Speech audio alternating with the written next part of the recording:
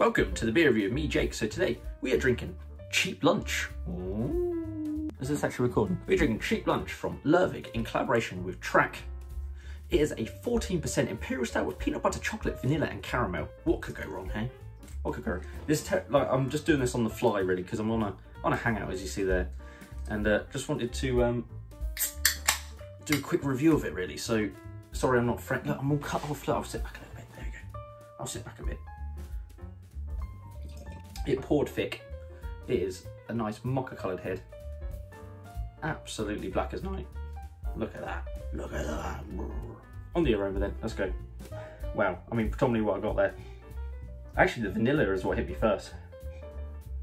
And then it's backed up with so Reese's Reese's Pieces, or the Reese's Cups. And then there's a big boozy note as well. And I did a review of a, a uh, stout the other day and it reminded me of this, so, and I'm gonna bring that out again. Does every stout taste like, you remind me of this now? It's the sort of coffee tequila from Patron. Stinging the old schnoz. Let's go for a taste, cheers. Oh wow, that is dense.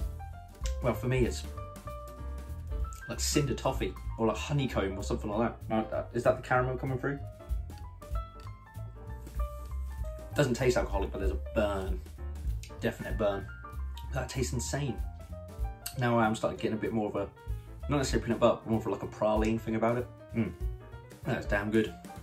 Would I buy it again? Hell yes, I would buy it again. And I can't, and I don't think it was even that expensive. So sorry it was a quick one, but I just wanted to, to review it before I just sipped it for the rest of the night. So that's everything from Lervig's Cheap Lunch in collaboration with Track. I've been Jake. Remember to like and subscribe and see you on the next one. Cheers. Forgot to do an hour.